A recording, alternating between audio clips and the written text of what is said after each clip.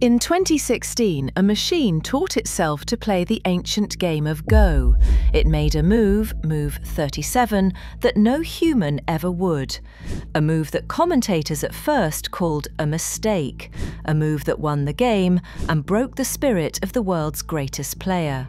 We thought that was intelligence. We see AI creating breathtaking art from a few words of text, we watch it write code, draft emails, and even compose music.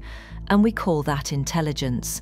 But all of it, every single AI in existence today, is a grand illusion. These are just hyper specialized tools, like a hammer that can only ever hit nails. They are brilliant, but they are brittle. They don't understand. The real goal, the final frontier of technology that is being pursued in secret labs by the world's biggest companies and governments, is something else entirely.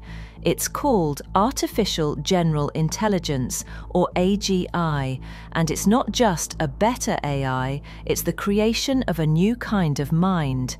But to truly grasp what that means, we first have to understand the fundamental lie at the heart of the AI we use every single day.